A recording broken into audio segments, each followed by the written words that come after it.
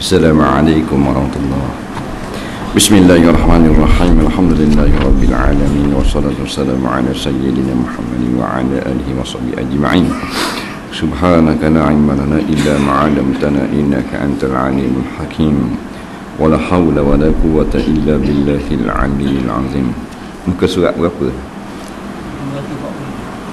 240 247 Baik, qala al-muallif rahimahullahu taala wa nafa'ana wa iyyakum bi'ulumihi fid dharain amin ya rabbal alamin. Kata pengarang rahimahullahu taala sembahyang jamak ketika hujan. Kita masih lagi dalam bab solat jamak.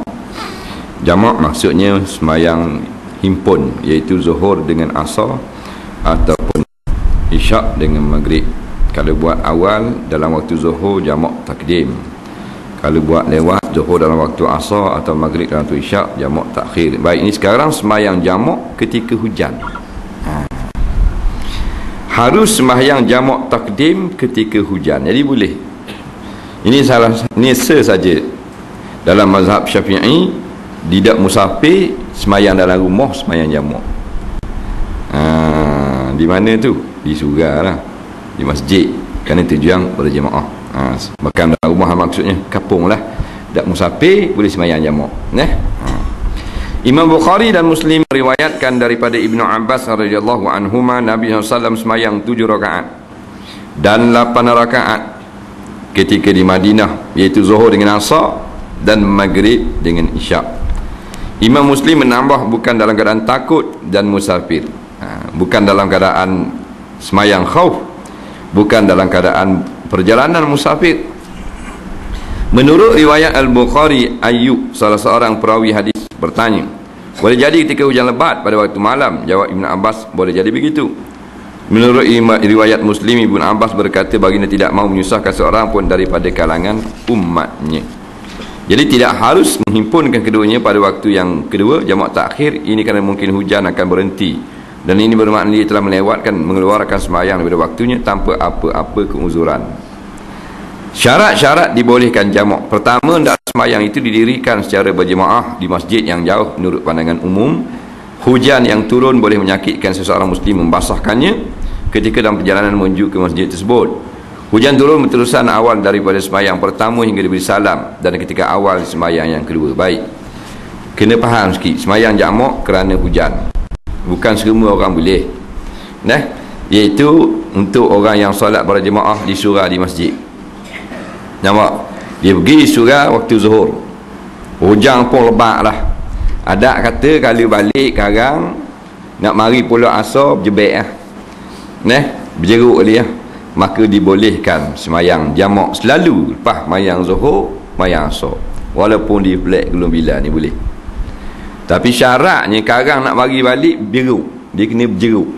Kalau karang mari balik asar boleh semayang macam biasa. Pasal apa? Walaupun hujan. Pasal ada kereta. Ada payung. Ada baju hujan. Ataupun mudah perjalanan. Tak becok. Eh? Tak boleh.